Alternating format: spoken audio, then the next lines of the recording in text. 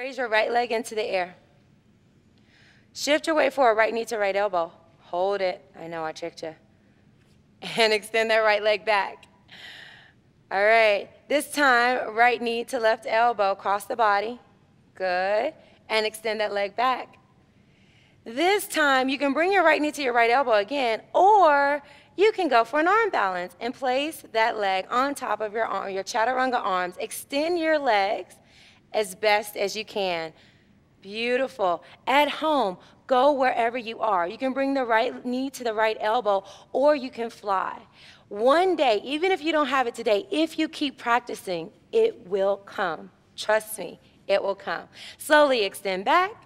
Good. And step that foot all the way through. Warrior one. Good. And exhale down, framing the foot with your hands. Step the right foot back to meet the left. And chaturanga. Come on down with the exhale.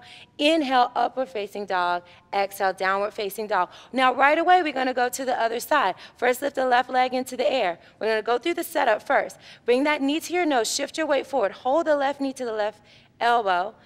Good. And then exhale, back.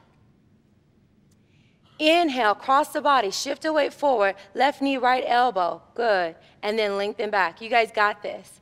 Good. Now, we're going to go for the arm balance.